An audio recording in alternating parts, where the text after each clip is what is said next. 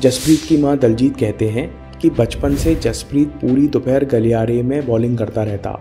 हम उसके खेल पर ज़्यादा ध्यान नहीं देते थे। लेकिन जैसे वो बड़ा होता गया, उसका खेल का इंटरेस्ट डिवोशन में तब्दील हो गया। उसे साइकिल से ग्राउंड पहुँचने में 30 मिनट लगते थे। लेकिन सर्दी, गर्मी, बरसात एक दिन भी उसने खेल मिस नहीं किया।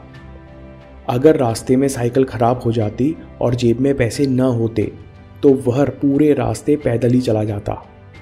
16 साल के होने पर जसप्रीत ने अपनी अकेली माँ को समझाया कि वो फुल टाइम क्रिकेट खेलना चाहते हैं। उनकी माँ जी कहती हैं कि हम लोगों का कोई सहारा नहीं था। मुझे हमेशा डर लगता था कि दुनिया इतनी निर्दयी है। देश में हर दूसरा बच्चा क्रिकेटर बनना चाहता है। इस बच्चे को कैसे मौका मिलेगा? हमारा तो कोई जैक भी नहीं है।